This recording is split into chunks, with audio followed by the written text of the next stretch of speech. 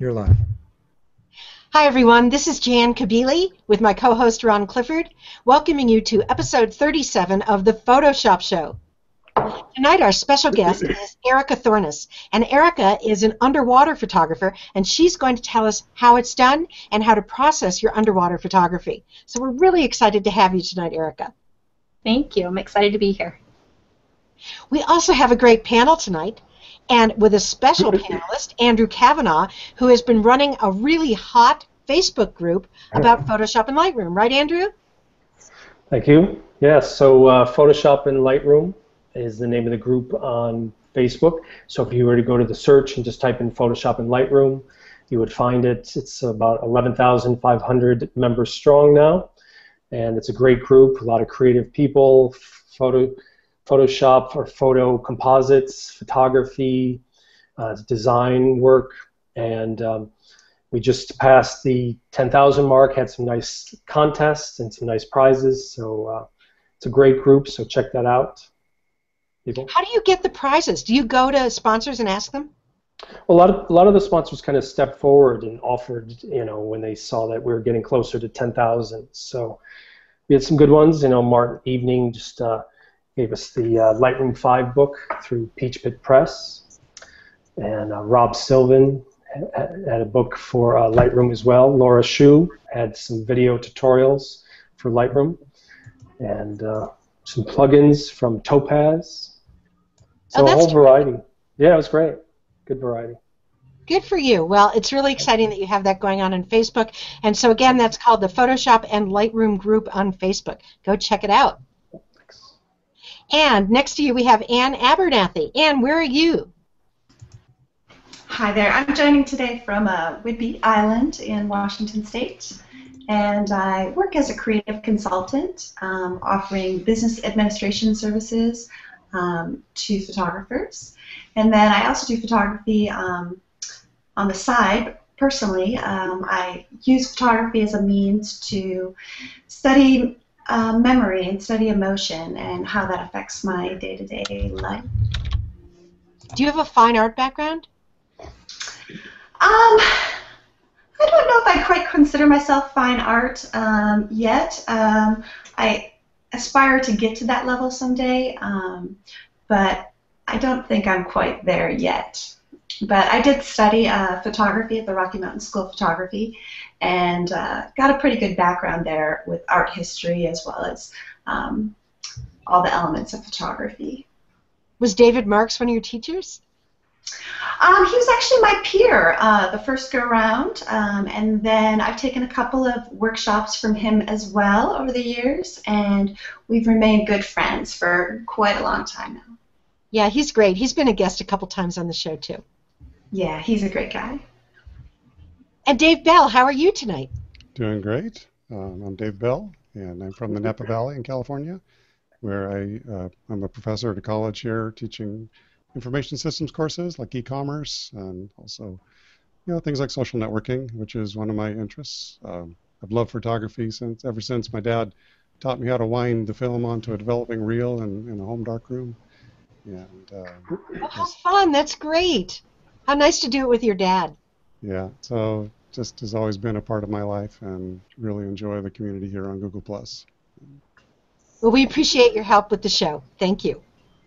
My pleasure. Next to you, we have our special guest, Erika Thornes. Erika, tell us just a bit about yourself and where you are and how we find you online. Well, I'm in San Diego, and you find me. Um, I'm the only Erika Thornes in the world, so I'm actually pretty easy to find. So um, just spelled with a K, and um, you can find me on Google Plus. You can find me on Facebook. You can find me on my own website, and um, I'm just around a lot. so, and I do um, beach photography, underwater photography, and event photography. Um, I kind of like to keep my hands in multiple pots. Um, and this summer I've been focusing a lot on underwater photography and thought I'd share how anybody can do it. Well, we're really excited to hear from you, and we will in just a moment. First, let's hear from Ron Clifford. Ron, where have you been and what have you been doing?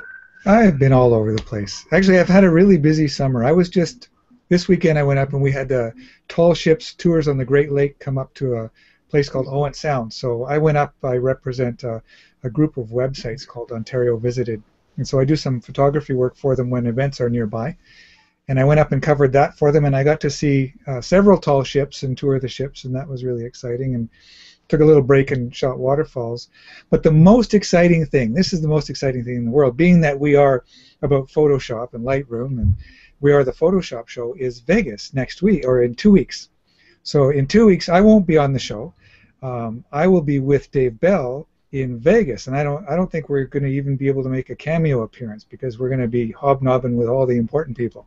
Yeah, that sounds pretty dangerous. That's all I can say. You and Dave. Yeah. so Photoshop World is is uh, it's going to be an experience. I haven't been there before. I've heard lots and lots and lots of stories. So the uh, the the hotel is booked, the tickets are bought, the plane is booked, and, and I'm just just really really excited for that. It is really fun. I know you'll have. What's that? Great to finally see Ron Clifford. Uh, what did they say? IRL in real life. Yeah, we're gonna IRL. Yeah. yeah. Are you gonna H IRL? H I. We're gonna hang out in real life. Yeah. That's really cool. Well, I wish I could be there, but you guys will have fun without me. You don't need me tagging along. so, it would be fun. It would be fun. Well, you'll have fun. So, um, and I'm Jan Kabili, and I teach this stuff for a living, and I do it mostly on lynda.com, the online training library. I'm very honored to be a part of that effort. Um, so I was uh, recently preparing a course for lynda.com on black and white wedding photography, and as I was researching that, I found all these neat um, techniques that you can do with black and whites. And of course, I couldn't get them all into that course, so I saved out a few techniques, and I wanted to show you one of those tonight. Um, before we talk with Erika. It's really short, but I think that you're really going to enjoy this. So I'm going to screen share. Give me a second to do that.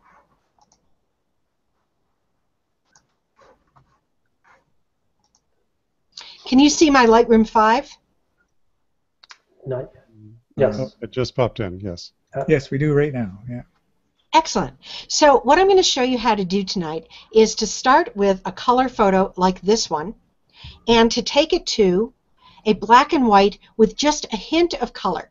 Now, in the old days, we used to call this hand painting, um, but of course we're not doing it by hand. We're doing it in Lightroom now. Um, but I still really like the effect, and it can be used to just sort of add a focus point or to give a little bit of life to a black and white. Um, and you would imagine that this would be easier than it really is. So I want to show you the kind of the, the workflow for doing this. Um, I don't think it's something that you might come up with intuitively. So I'm going to go back to that color image. And now let me ask you guys if you're paying attention there. You probably haven't fallen asleep yet, right?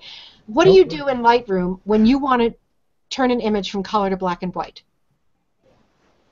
I go down to the black and white panel and switch it over. Exactly true. It was that Ann?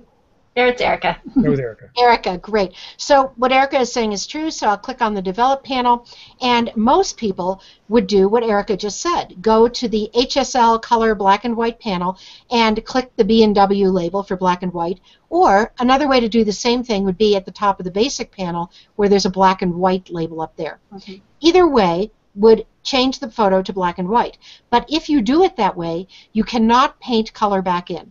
And you're welcome to go ahead and try that on your own time, but believe me, it doesn't work. So, and, and I didn't know that either until I did this research. So I was happy to find this workaround. And here it is. In order to make uh, to paint color into a black and white, you have to first convert to black and white by going to the HSL Color Black and White panel and clicking on HSL there, and then clicking on the Saturation tab in the HSL panel and then taking each one of the saturation sliders and dragging it to the left, one at a time. Red, orange, yellow, green, aqua, I wish there were an easier way, blue, purple, and magenta.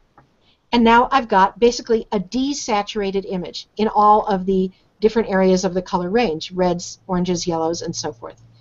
Now, because I did it that way, the image still really has color in it. It's just that, you know, we've kind of turned this, dialed the saturation of those colors down. And because it does have color in it, now I can bring back selected colors. Now I think I've shown you before that you can do that right here in the saturation tab of the HSL panel by just dragging one of those sliders. We saw that, right Ron? Do you remember that? Yes, I just had to unmute. Yes, we did see that. Right, so before I showed you that, for example, if I took the blue slider and dragged just that one over to the right, that would bring back all the blues in the photo wherever they were. And notice that the blue is not here in the sky. You might think the sky is blue, but in this photo, it's not actually within that blue range. So another way to do that same thing, if I take blue all the way to the left, would be to click on this tiny little circle at the top of the saturation tab in the HSL panel. That's the targeted adjustment tool. And when it um, displays two arrows, one above and one below that circle, now I know the tool is active, and I could go up to the sky, and I could click in the sky and drag up, and that would bring back whatever shades are in the sky, uh, which happen in this case to be more greens and yellows than blues. That's interesting. Um, but notice that that bring back the green and blue everywhere in the in the flowers over here in the waves in the what is that thing called? A wharf?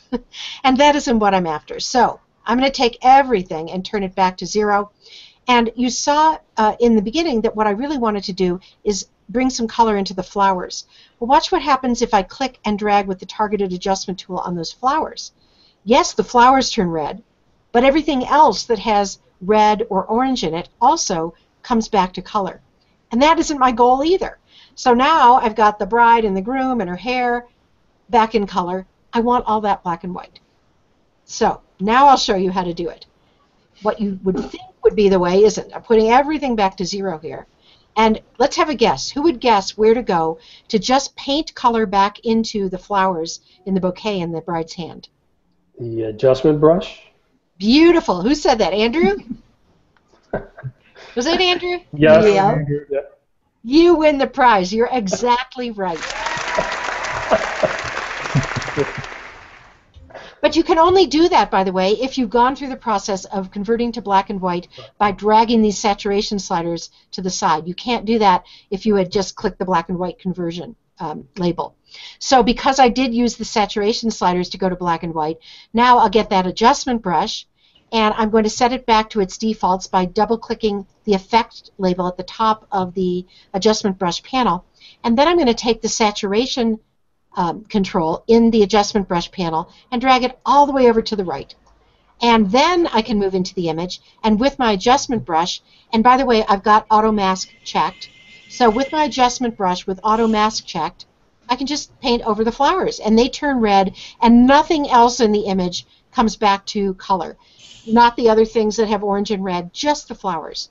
And if I wanted to include the stems, which are green, I might make my adjustment brush smaller by clicking the left bracket key and maybe paint over the stems and maybe these green bits up here and the green bits at the other side of her hand.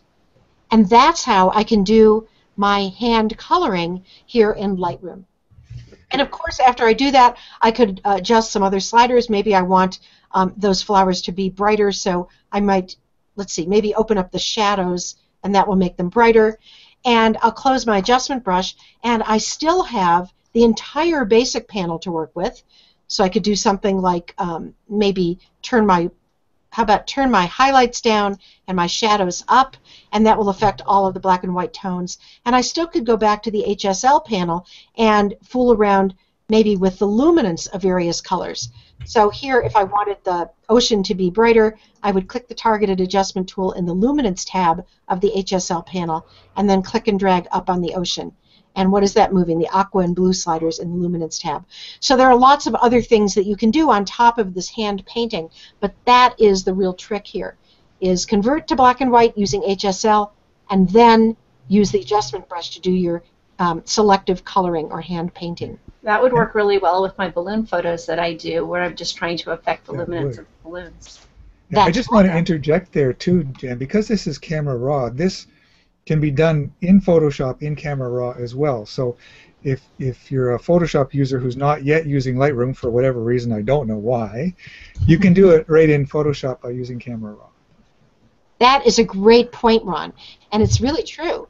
Um, that you know people think, oh my gosh, I have to run out and buy Lightroom. But if you already own Photoshop, you really don't. Um, and in fact, if you have Adobe Bridge, even if you don't have Photoshop, like maybe um, you're a Creative Cloud member, I don't know why, but you may have downloaded Bridge with InDesign. You can run Camera Raw out of Bridge, and you can do that too. Okay, so that's what I had to show, and I hope you can make great use of that. And I know, especially you wedding photographers, are going to make some beautiful images using it. so now, Thank you. now we have Erika Thornes, and she's going to talk about underwater photography and processing. Yep, and I kind of want to make it underwater photography for the masses because it seems like there's a proliferation of underwater point and shoots that have been coming onto the market these recent years. And I'm seeing a ton of photos being posted in my stream. And it would be great to show that you can actually have a lot of fun with them and do more than just the standard, you know, grin and shoot type photos with them. So um, I wanted to start out by kind of sharing you know how I started this journey into underwater photography, and then kind of go into um, what we can do as photographers, and then how we process them. So, all right, here we go. I'm going to screen share. Are you guys ready? All set. okay. All righty. Here we, we're gonna have a drum roll for this. Woohoo! There we go. So this, can you guys Oh, see it on you your don't screen? See it yet. Not yet. Ah, what did I do wrong? Let's see. I Don't forget to screen actually finally click the start screen Full share. screen, start screen share. There you There go. we go. Okay, now a drum roll. All right, this is my Okay. first underwater photo. There. So um, I had my husband take it. There's a pool light behind. It's done at dark. And um, this is the first time I said, wow, I could really do something creative and fun with my point and shoot. So I decided to go beyond just the regular little smiling photos. So I invited kids over and, you know, we just kind of had fun. Um, then one night I went out to the pool. Uh-oh, have my highlight alerts on. Um, and um, played. This is a self-portrait that I did using um, just the pool light. I set the camera down on a um, on those one of those car jacks that's super heavy.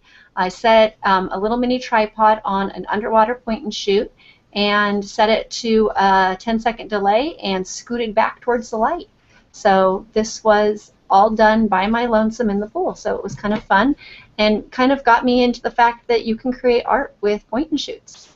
So we invited a pregnant friend into the pool, and we had fun um, just playing. And that's a that's my friend Carrie, who I shoot most of my underwater with, and that's her little point and shoot. Wow. So then, yeah, so we had a good time just playing around. So this is one of the. Oops, sorry about that. Fit, fit, not fill. So this is one of the first underwater portrait sessions that we did for a client. As you can see, I didn't really do a great job cloning background in the bottom. Um, since then, I've been using Joel Olives' textures and have um, come up with much better systems to do it. But this was just done simply um, with a little with a little point and shoot. Um, Can you turn off the uh, the highlight recovery thing you do? yeah, absolutely. Sorry about that. That's okay. There we go. So there she is. And so it was fun because you can just play with the lights that are already in the pool. Um, we like to shoot at dark because if you're shooting midday, um, you're going to get results like this. This was taken by a four-year-old, um, and this is all of our mommies at the pool one day. But you can see, you get there. I am. You can get a lot of um, highlights at the bottom of the pool and across spaces, and so we try to only shoot at dawn or at dusk or at cloudy days. Just So- that one tidbit alone is just, oh my goodness, didn't think of that. Do it in the one it when it's exactly. Yeah. Yeah, so that's what you know. So that's what we um, did. So another, I was going to show you another great reason to have an underwater camera is you can get awesome selfies like this. I mean, That's we right. can't live without self-portraits like this or this yeah. or this. But it's fun to take an underwater camera into the water slide. So, you know, you can use it for more than you think you, you can and have a great time with it. So that's why I recommend that. So now let's get into some fun before and afters. Once I discovered that I absolutely loved underwater photography, we ended up, my friend Carrie and I, because I shoot most of my underwater with her, uh, we find shooting with a with another photographer really helps a ton. Um, we hold we have lots of little techniques we do together. Um, we hold each other down underwater. We um, we we just we're able to communicate with each other and then communicate with the client what we want. But this is the advantage of having a SLR and a bag housing versus having a um, versus having a little point and shoot. You're able to have a wider lens, and so with the with the lens being having a larger millimeter in the front, you know, filter size, you're able to catch above and below water. So this was the first time that I was able to catch an above and below water shot um, back in the day, and you can see how blue the underwater is when it's when the exposure and the white balance and everything is set for the top, and yeah. how when it's set for you know and the adjustments I've made in Lightroom to kind of bring out um, her skin color. So anyway, um, that is that before and after. Here is one more night photography. Photography. I'm just kind of I'm starting out showing some of the point and shoot camera pictures because I want people to realize that you can get one of those point and shoots for you know around $300 and you can really really have a good time and play. This was taken with an S95 and the underwater case. Um, my cousin got it to go um, snorkeling and um, we brought it to the pool because it can shoot raw. Um, so this was taken at ISO 3200. Is that a Canon? At night. That's a Canon, right? It's a Canon. Yep. So it's f2 1200 at ISO 3200. And so after my edit, it looked like that. Now it does have a lot of grain. That's the pool light. That's, that's the pool, the pool, light. Mm-hmm. Yep, that's just the pool light behind, handheld. Um, it does have a lot of grain, but I think it kind of adds to the feel of this image. Um, the next morning she she stayed overnight my cousin did the next morning she came over and we um, worked at capturing something really fun so this is what hmm. um, we decided that we were trying to get something just kind of fun and creative and something beyond um, what you would normally see this might look complicated but it's really, really simple to be honest. You, it doesn't require great masking skills. It doesn't require great photoshopping skills. It's just basically piecing together puzzles. Um, here is the first shot of that series. So, can you see where I grabbed that image from? The only difficult thing was getting a, the removing the light around her hands this is only this pool is only five feet deep that I shot this image in. Um, but so we just grabbed this image here. For the middle image, we grabbed this image right here, and I um, and so Carrie was there with me in the pool, and we passed the camera back and forth, and um, we just put we put her 5D Mark II in the water. We shot it at raw, and um, we just went for it um, in the case. We didn't put it in the water without being in a case. Yeah, but, right. so don't put the 5D Mark II in the water, please, people. Yeah, exactly. So yeah, so then these are all Lightroom adjustments that I made the image. I'll show you guys shortly, kind of how I do that. Um, and that was the center image.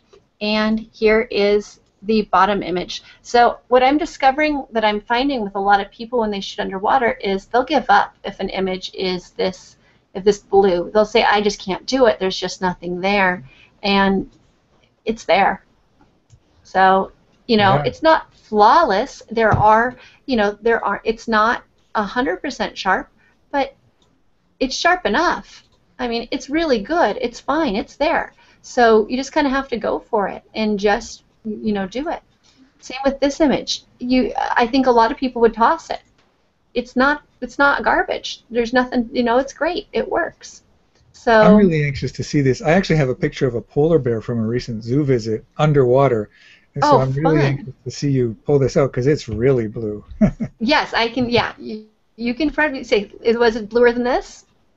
I would probably like that. Yeah. Yeah. Well, that's really easy. And here's the finished image from that. But here's what I want to know: Is that you? Is that your friend? No. Um, this was me shooting and yeah, so this one was me shooting. Um, this was taken just um, like two, three weeks ago, and that is my daughter's um, orthodontist's assistant. So she saw one of my underwater images and begged to come, and so we put her in the pool. Well, so, what I was going to ask is, how come she didn't drown in that dress? How did you ever get her?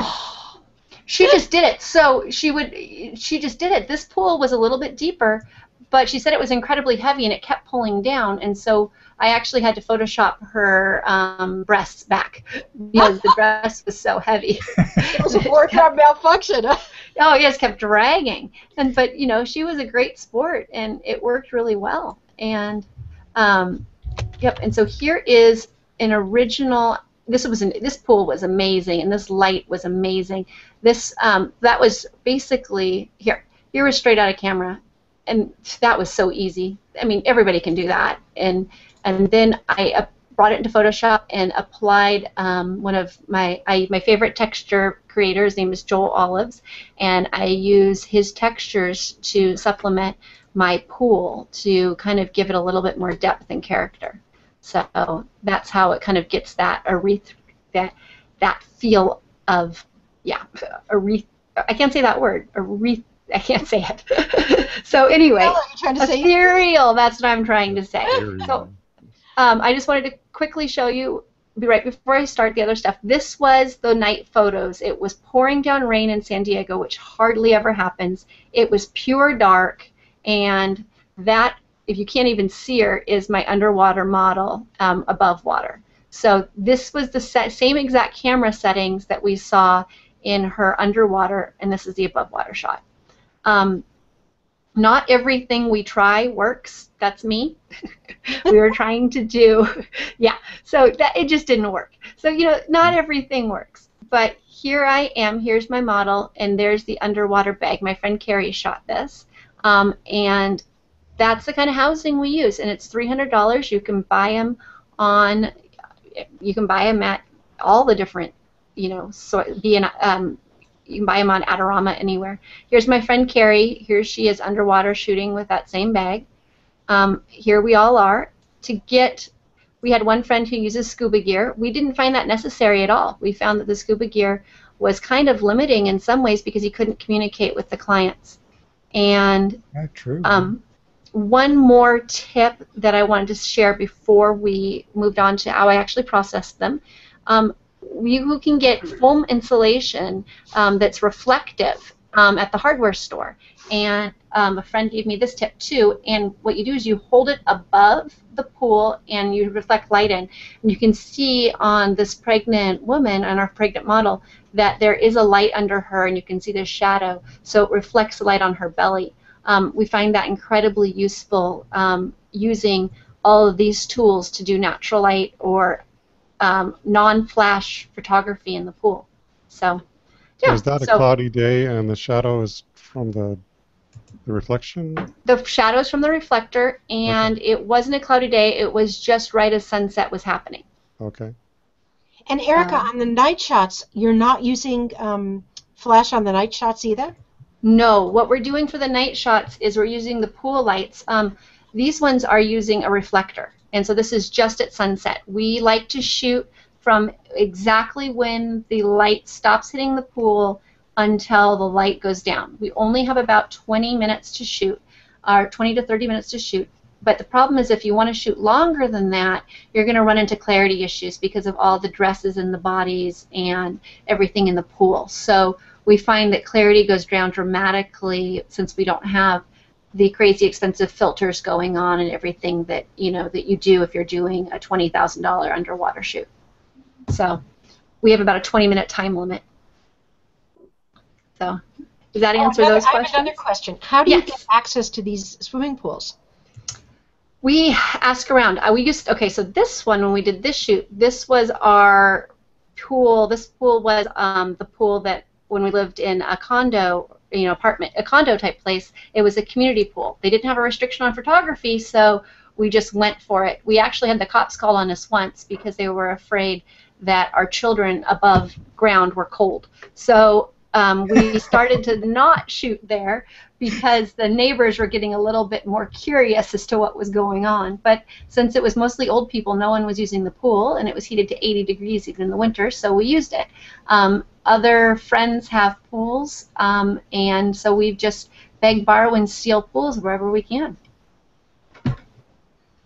So does that answer your question? It does. Okay. That, that's actually really fantastic. Not only do you not need to to uh, spend thousands of dollars on highly specialized equipment, you can borrow people's pools. You don't have to Yeah. have your own. That's Yep, great. yep. You can say, "I'll give you an underwater image if you if you come have in." Yeah, exactly. So it's like you got to make friends with pools. All right. So here I'm just going to give a quick little, you know, example of one that we did. This is um, my cousin Allie, the ballerina. This was the original shot.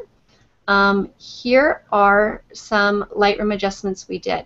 So as you can see um, from this shot, the white balance is awfully blue. We've got every, you know, nothing is going on there, you know, too dramatic. This is the start of, um, of processing the image. The very first thing I do is I fiddle with the white balance. I really go quite yellow over here. Um, it's it's just the way it is. Um, then I kind of you know adjust adjust for that. The the white balance will dramatically change depending on your pool, the color of the the the paint that they use on the pool and the quality of your light. So and the distance you have to the subject. I always shoot with a wide angle lens and get as close as absolutely possible to my subject because you're going to get less water um, between you and the subject so you'll have less blue to deal with. So another tip, go wide and get close. So um, yep, and so then I just kind of fiddle with the with the uh, with the exposure. I it depends on what you're lighting, um, what you'll need to do. The contrast I think sometimes actually has to go up because um, you're dealing with the the water and it lowers the contrast. Um, clarity I don't usually mess with too much because I think it makes the image get a little too crispy. Um, vibrance I use much more than I use saturation. Saturation is going to get it's it's it changes the image different than vibrance. Vibrance will kind of change the colors, but it doesn't mess with the skin tones quite as much. Um, so I fiddle with those a little bit. I don't I don't do it in my regular photography, but I find that I need to do it to make up for the blue haze that we get in the underwater shots. Um, with the tone curve, I always do an S curve, a slight bump. It creates more contrast in the middle tones. I find that that brings out more detail in my subjects. Um, any questions so far? I was wondering, it, it looked like you weren't moving the shadow slider at all. Is that right? Up in the basic? N- no, I, I don't because if I move it, I, I can move it down sometimes, but then what you're doing is you're getting deeper blues in her skin. Mhm. Um, and so I prefer not to mess with the shadow slider. Again, it really varies per each shoot. And I'm going to show you guys something that I've been doing. I don't know if all if you guys use presets or if I'm sure all of you use presets, but I don't know if a lot of our viewers do.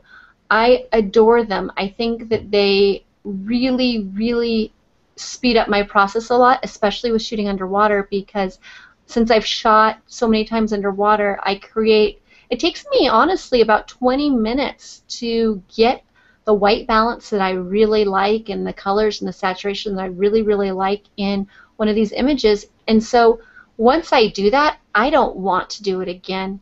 So I come over here and I make a preset. So this one was called Underwater Ballet. And so there it is. It's from my underwater ballet shoot. This one was from one of my other clients. The lighting was different.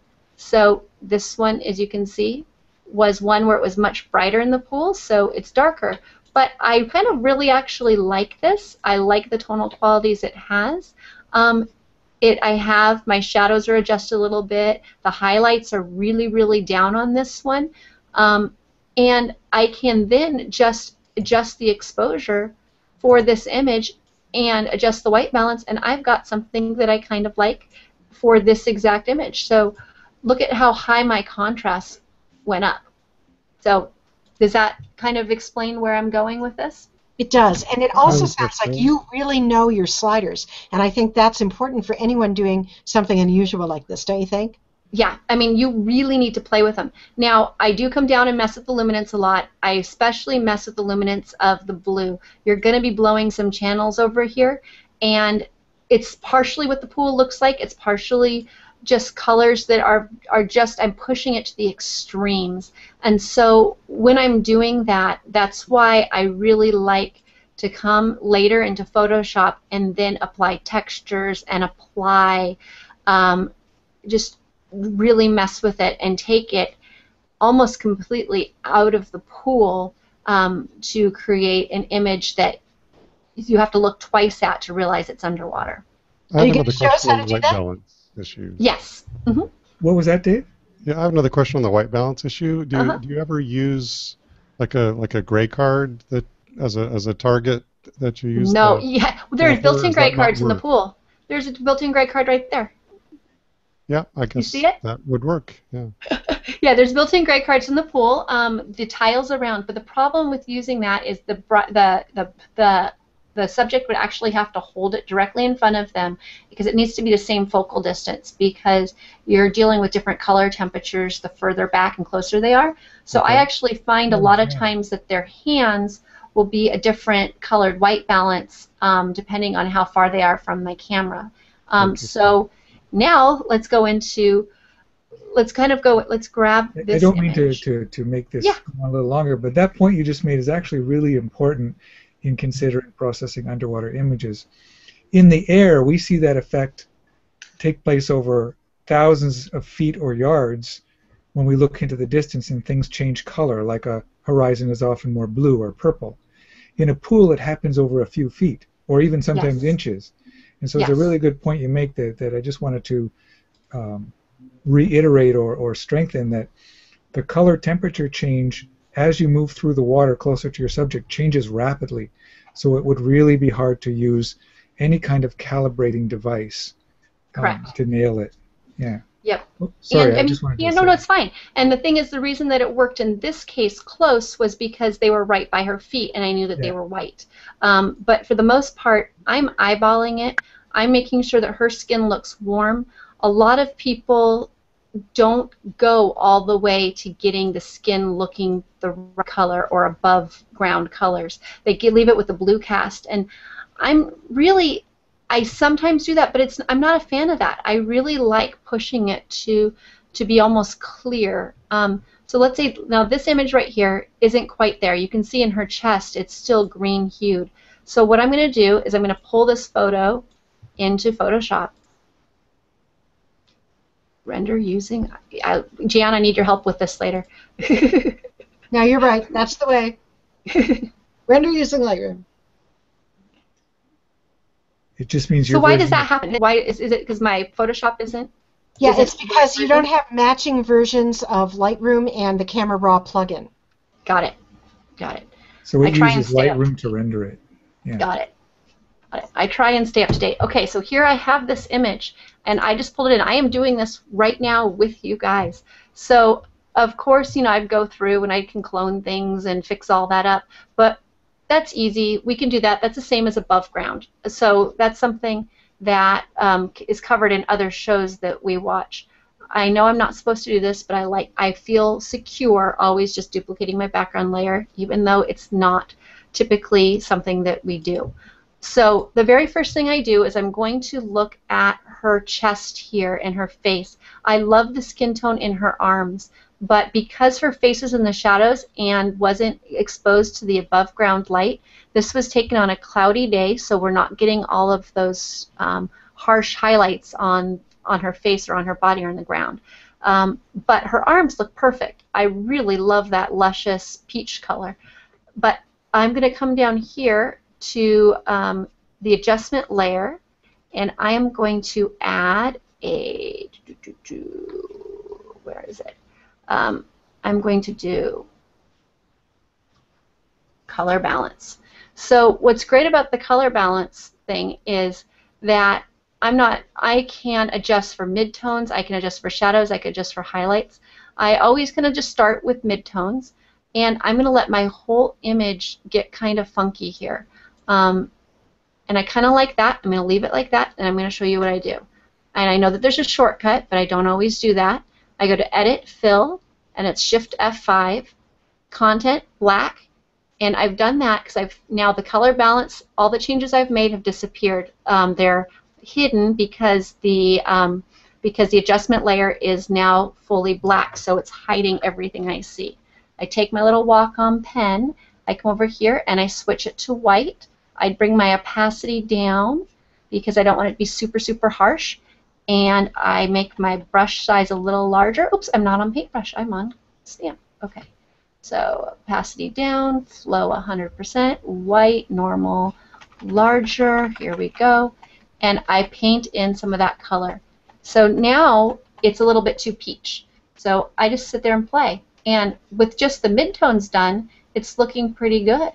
So that is how I get it done.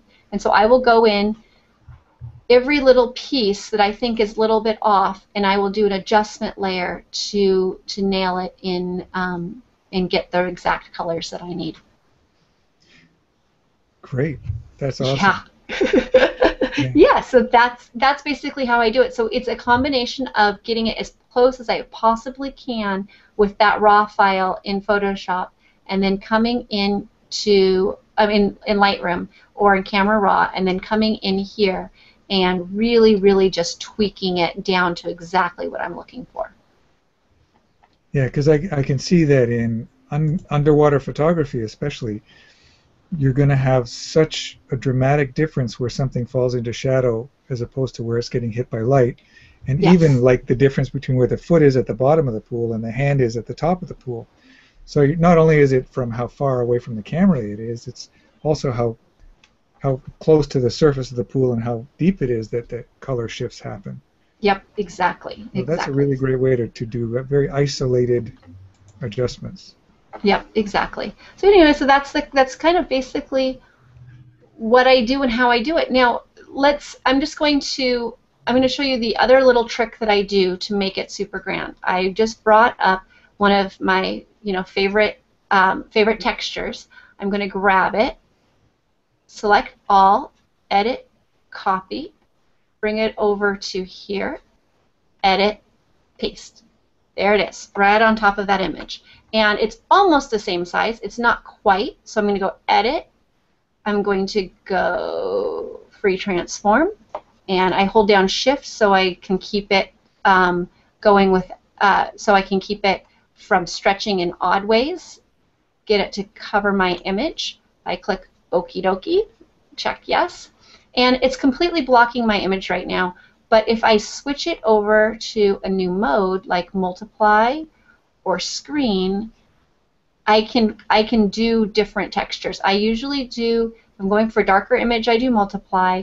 Um, I just really vary depending on what type of image I'm creating. Then I just come down here and grab the little washing machine and make um, a mask so and I call it too, the washing machine. That's the technical. it works. It, it works. guidebook. It works. And instead of paint, I leave it white and I paint black. I'm sure this is a common thing that most of you guys know, but um, bring my opacity up and I start painting her back into her world. Um, sometimes I bring bubbles in, um, and I sometimes the other thing I do to make it look super dramatic and super tall. This is just a rough estimation. So I come up here, image, canvas size. I come up here and I enlarge my canvas by percentages and I enlarge it by 200. And here we go. Oops, actually edit, undo canvas size. Image, canvas size, percentage, height, 200. Whoop, that would have been really large. Okay. And so here we go. And so I can do different things with my canvas, and I can just basically um, add in another, I could add in textures, I can do different things to extend that cool look down a lot further. So that is how, how you I, do it. How I do my magic. And it's really quite simple. All right. And now I have you... to ask you about your textures because I, I go around when I'm on a photo walk, people look at me really odd because I photograph things like the pavement and windows, and you know, I, I, I have a whole collection of textures. I, I photograph tombstones, hmm For textures, what do you do? Do you do your own? Do you buy some? Do you go and look for free stuff online? What's I- your, uh, I buy them. I, I like this is a texture. The other thing with textures that's really kind of cool is um, you don't have to use them um, as they are. I, I buy them or I find them for free. Um, my favorite textures, I said, were from Joel Olives. The reason I like his textures is because he does a lot more dramatic stuff, and I can fade it out really well. I actually, in this image, completely blurred the texture down as much as I possibly could, or you know, in a lot of ways. Let's go edit, step backwards. All right, so like if you have this texture here, you can take it and you can filter, blur, and you can do all different sorts of things. You can do field blur, iris blur, average blur, blur more. You can do all these different things, and it will blur your actually like coming in here.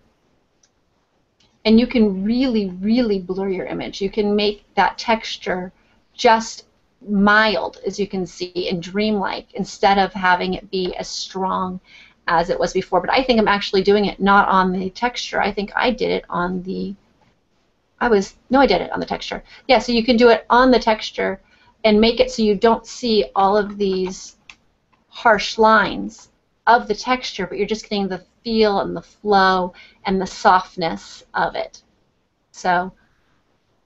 So yes, yeah, so don't I don't necessarily always use a texture as it comes. I change the white balance of it. I change the opacity, of course, and I um, change the blur on it. And so like Yeah. this image is completely soft because it's a texture that was completely blurred out. And Erika, is it the texture that is hiding the I don't know what to call it, but the pixelization that we saw in the original, you know, where the in the water where it was dark and light.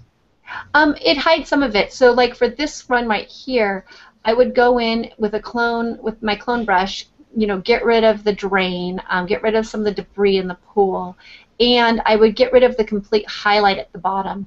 I would just kind of clone stamp that out so it wasn't so severe. But I wanted to keep some of that because that's where the light was coming from, and so it made sense in the image. And so I just made sure it was still lighter and not a flat surface to work with when I applied the texture. So like if you can see here, have it fit, not yeah, fit, not fill. As you can see here, it's a highlight spot because the light's coming from above her. Um, but in, so I kept some of that lightness in the final image at the bottom, but um, it does help cover it up. I use the I use my clone brush uh, stamp a lot. So this is so great because what it is saying to me is that there is a reason to become an expert at post processing because basically you're telling us, hey, you can go in there with a point and shoot, take kind of you know half-assed images, and if you know how to use your uh, your Lightroom tools and your Photoshop tools, you can make something really beautiful, um, which is just as important as shooting, right? Yes, it's it's it's. I tell all of my clients that shooting is half the job. It's really, really, really rare that you come out with an image that looks like this. This, let me find this one. Um, edit photo. I think this one is. All right, so this one is slightly adjusted. Photo, create virtual copy. All right, I don't want to lose it all. It's very rare that you come out with an image that looks like this straight out of the pool. This image is, to me, when I saw this, I'm like, oh my God, this is phenomenal. This is so easy. And I was, I had this adjusted and ready to go in about three or four minutes, and that's incredibly rare for me. It usually takes me about, about an hour to two hours to process my underwater photos if I'm doing it simply. It takes me about 10 hours to do it if I'm doing a complete job on it. Wow, ten hours. Yep, but that's for ones that are entered, you know, that win the fair. So that's okay. you know, it's nothing compared to the, you know, the 50 to 80 to 100 hours that some of your guests use on images. And that was actually inspiring to me to hear when watching past Photoshop shows that the difference between, you know, uh, you know, amazing photography and truly excellent photography is the attention to detail and the time spent just really, really tweaking the image to get something that you absolutely adore. Yeah, I Yeah, totally think agree. about it. Go ahead, Jan. No, I, I just I agree, and um, I know that there are some kind of famous photographers who take the photo and then they hand it off to someone who doesn't get paid very much to um, quote, you know, fix it. But I think in a way that's unfair because at least half the job comes after the shoot, particularly if you shoot. Yep, exactly. I And think it depends on what your your.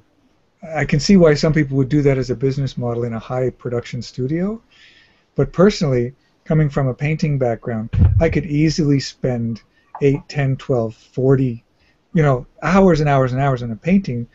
If I'm creating art in my photography and with the tools like Photoshop and Lightroom, why wouldn't I want to spend some time um, being creative within those tools and, and getting it just the way I want it? And I know and- Andrew, you're the same, right? I mean, you spend hours on your photos. Yeah, love, love developing. I mean, Lightroom makes it pretty graceful. So Yep. and this is all Lightroom. I mean, you can edit underwater photos completely in Lightroom. You just have to make mm-hmm. sure that you know that your the girls the woman's dresses are fitting them and that you're not having you know poppage of different things. You can fix those using the tools, but it's much more difficult. But like you can, you know, what's nice about Lightroom is I could easily easily fix the strain cover. Uh, whoop, just like you know by grabbing something like that done so you know it's like so i can so it is possible to do all of your editing directly in lightroom but i have to say that applying the textures and doing the layers really pushes it to the next level. So you can get really really close in lightroom and create fantastic images but i like to go the extra steps that you get in photoshop Very good point.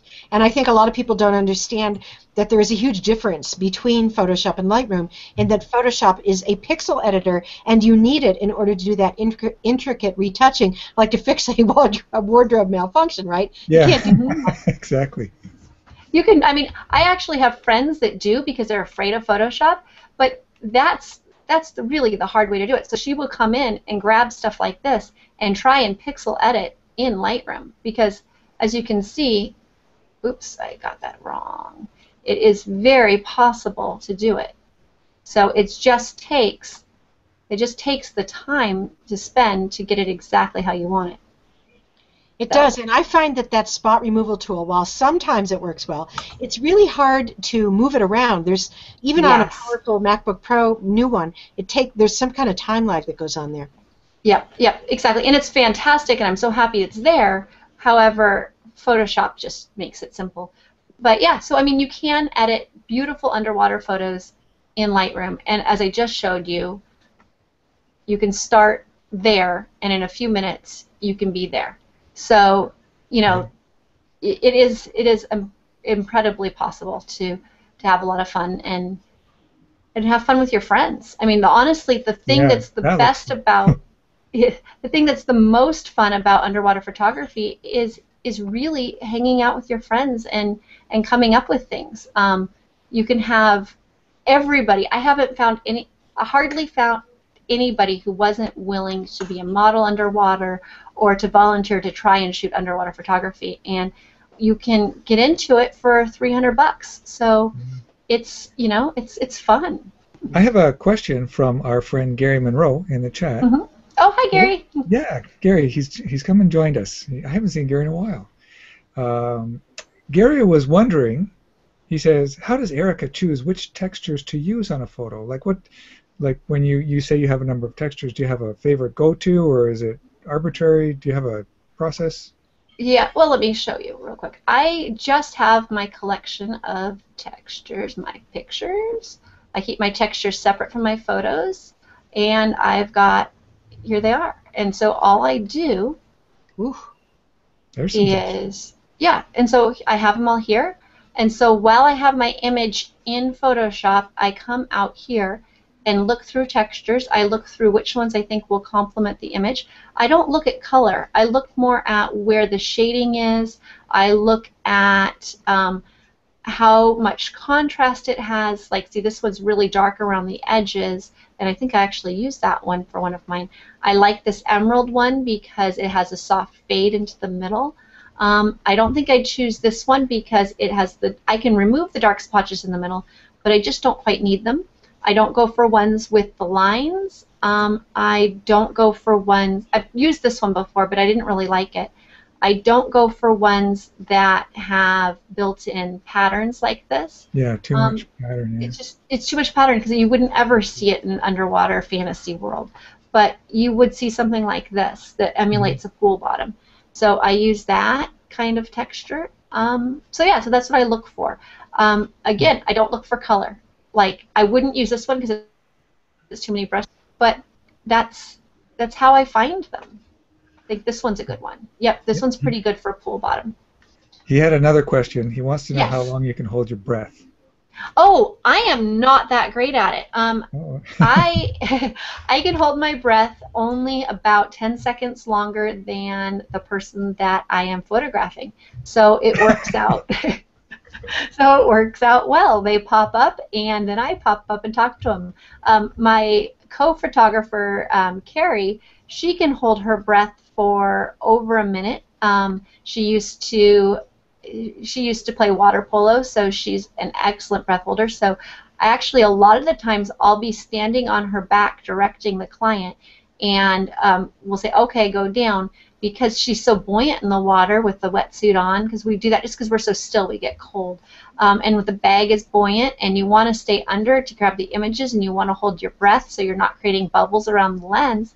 Um, we, she basically just blows out one big bubble when she wants to come up, and I release her, and she rises to the surface. Um, but as long as she's down there longer than our subjects, it works out fine. Well, you And then sure we don't can- want to get your signals mixed up. Exactly. We've got it down pretty well. Um, yeah, and it, it just works out. And so while she's shooting with one camera from the deeper angle, I'm shooting right above her with my camera, holding it just barely under the surface while I'm shooting. I don't, um, I don't, how do I explain this? I have bad ears, and actually, um, uh, I did two shoots two days in a row and ended up with severe ear problems. And so, I now don't really put my face in the water while I take pictures. I am completely above water when I shoot. I'm trying to find an image of me doing this. Here, here's a pretty good example uh, of what you can do. You can't really see their heads, but as you can see, they're not very deep. They've got the camera lens under the water, and sometimes you put your eyes underwater um, with your goggles on to see the back of your camera, but um, you basically don't go down. You could just hold the camera down um, and not get your face wet. Ooh, that's good to know. I like that. yeah, I'm not a. I, I don't get my face wet anymore. If I get my face wet, then um, yeah, then I'm toast. So I stay when I shoot. I stay more. Let me grab this image. Oop. I stay more at this angle here, where I'm putting just the camera. Um, where I'm putting just the camera under the water, and there's my bag. Someone else is holding it, and um, shooting like that. Now, I have another question, which is about the models. Do you Mhm. find models and pay them, or they're just all friends of yours? How do you do It that? It depends. We have about half paid models and half conceptual models. Um, so for someone, if we have a specific image that we want to do, like the underwater ballet, or um, or something like this, where we were teaching, um, we had a bunch of uh, we had six photographers come, and we had like three underwater cameras, and we took turns and rotated. Um, we just have the models sign a model release um, saying that we can share the images like this for teaching and post them on our social networks and have a good time with them. And the models get a copy of the photos, and they are absolutely thrilled to do it. So we've never had to pay someone to go underwater, and we are often paid to go underwater. Um, I don't bring um, people learning with me when we do that. Carrie and I go together and we um, just have them alone so we can spend a little bit more time getting them to pose right. And um, we shoot exactly what they like. We get a lot of maternity um, that pay to be shot underwater. Really? That's Mhm. interesting. Yeah, maternity is the big thing right now could- for I shooting could underwater. really see that. So they want images like this. And so here's a before and after of one of our maternity sessions. We want people to be at least eight months pregnant because we don't like to Photoshop the belly in. Well, So, Liquify yeah. does that pretty well, though. You know. It does. It really does. But it's it's not the, quite the experience that the that No, I not you know. I want I want the clients to have it be their belly and their body. So yeah. So now that now that you've mastered this um, this technique, what, what's the next mountain you want to climb? Do you have something on the horizon that you want to explore? Well, the underwater composites are fun. I think I want to do more above water compositing. Um, I'm just having a good time. I I do what what I what comes to me. I do what's fun. I do what's challenging. And underwater was a challenge that not many people have, you know, ventured into. Um, a lot of people do above water, you know, portraiture and above water com- um, compositing. So underwater just presents one more obstacle, and it's fun. Great. So I have no idea what I'm going to do next. Well, you always come up with something, Erika. And this, by the way, this is not the only thing for which Erika is well known. Um, I first saw her composites of her children that were fantastic. Do you remember, um, Erika, the, the holiday composites that you were posting early on Google Plus? Oh yeah, those are fun, and I'll I'll have to do those again. I'll have to do Yeah. those. Yeah, cancel. There we go. There I'm back. Yeah, no, I'll do those again. I think I have the back of my wall behind me over there. Um, yeah, oh yeah, and then the of oth- them, yeah, and so it's fun. I took my children and I composited them into miniatures of our holidays, and I kept them as they were. I didn't dress them up. I had them do whatever activities they were doing. So the day they got candy canes, we shot them with candy canes, and they became um, little miniature people holding giant candy canes. The day that we decorated the tree, they were helping me, you know, hang ornaments, and so we we put that. And the day we made cookies, they were climbing all over the mountain of cookies, and so if they didn't have their socks on, if they it was what they were wearing and what they were doing because it was a holiday composite book for them, and um, to preserve their Christmas memories. Yeah. What a Well, you wonderful know- memory it is too. Yeah.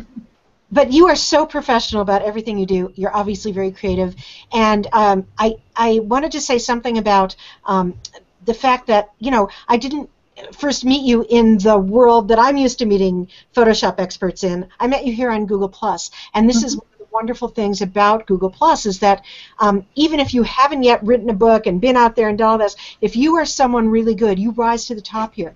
And I am very honored to know you, and I'm really just in awe of the things you do. So thank well, you. thank you. I I don't my skills. I, I'll get there. I, but I think what the most important key is is being creative, thinking on your feet, and if you have a wackadoodle idea, running with it and just going and and diving in. And it's like the other thing I do is I shoot my children at the beach. I shoot wide, and I talk to people, and it's like I shoot portrait. I shoot landscapes with people in them and that's a different concept than a lot of landscape photographers or portrait photographers and I don't mind breaking the mold and doing exactly what makes me happy and it's amazing the clients are coming so Yeah.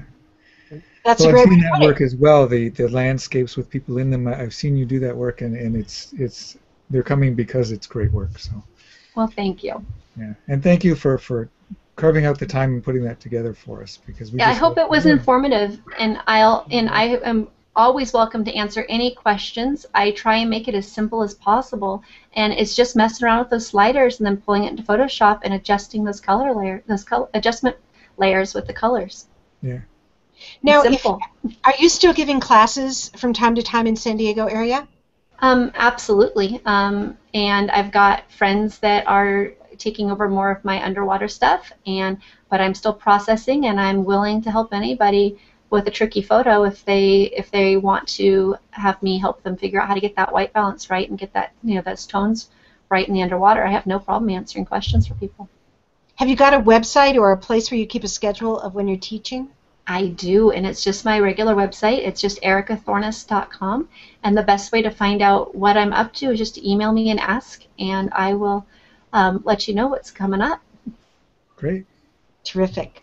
Do you got anybody else have something to say, Ann? I know you've been we've, we've just been talking and haven't let you get a word in edgewise. Well, I, did, I actually did have one question. Um, when you're focusing on a shot that you want to have more than one subject in, are you always uh, compositing those two subjects, or In a pool, it becomes okay.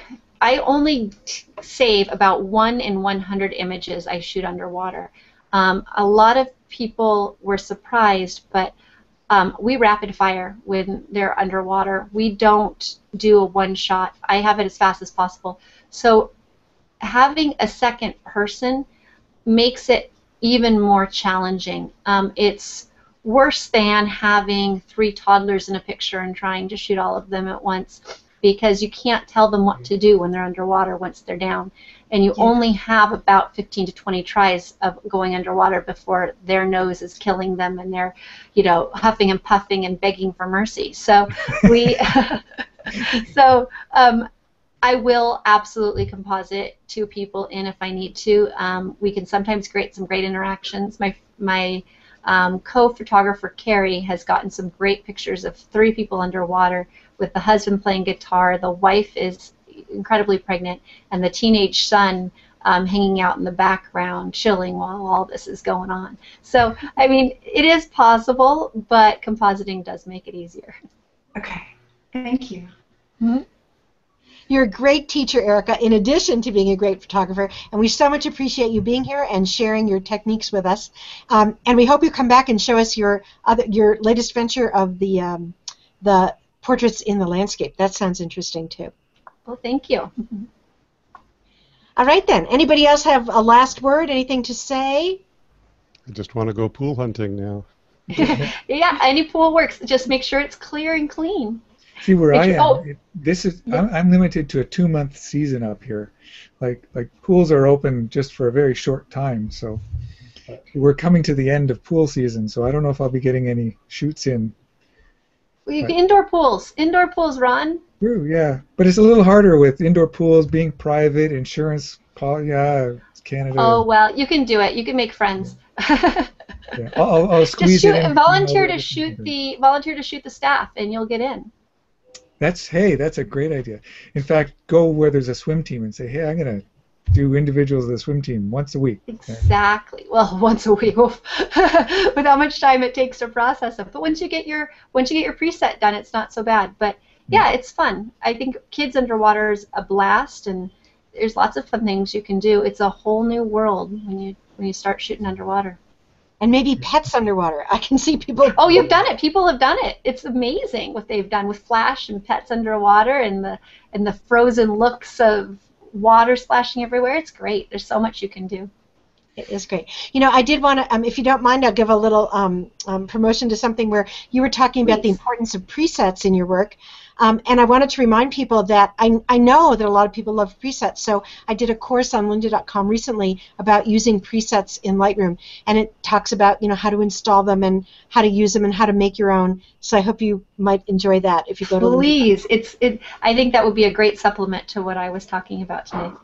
Yeah. Great, check it out then. All right, everybody. I think we're out of time, and so we're going to take off for tonight. We appreciate everyone who joined us tonight. Andrew Kavanaugh, um, the host of the Fancy Schmancy Facebook Photoshop and Lightroom group, and Ann Abernathy from beautiful Whidbey Island, and Dave Bell from Napa Valley. Erika, of course, Erika Thornes has been a great um, guest tonight, and our famous Ron Clifford, who's going to Photoshop World next week. Yes. All right, everyone. Have a good night, everyone. Bye. Thanks.